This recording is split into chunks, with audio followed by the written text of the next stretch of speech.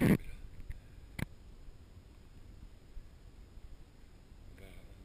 se remettre du... Putain, il y a un sec. Les animaux. Tu vois, ça va être... Si c'est comme ça encore dans le...